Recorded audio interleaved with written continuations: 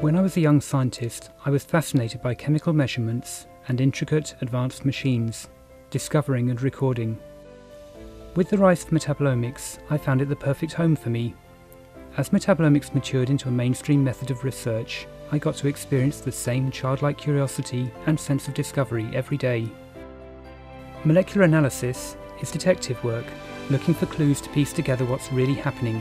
It's exciting when we find we're on the right track. Working with Sarah O'Connor, we try to understand how certain molecules are made, and use mass spectrometry to discover the enzymes of plants, and then track the chemical reactions going on within the plant's development. We imagine what the chemical reaction will be and make predictions.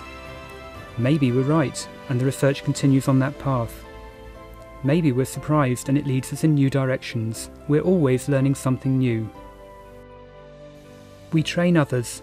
We support research. We are passionate. Living organisms are made of a mass of exciting chemicals, but until recently the mining has been too crude.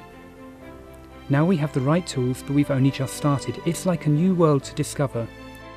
With our imaging machine, MALDI, we can scan a dried sample with a laser beam.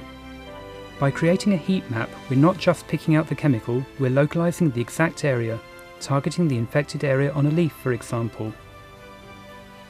With DESI, we can even scan a fresh sample to get a picture of the chemical life of a real living tissue. We've only looked in detail at a tiny percentage of bacteria, plants, and fungi available. With each step into the unknown, as we delve deeper into the structures and processes of something new, we may learn how to make new antibiotics and new anti cancer medication. The molecular analysis platform, here at the John Innes Centre, is at the cutting edge of plant science. It's where we explore a world of opportunities through the measurement of molecules.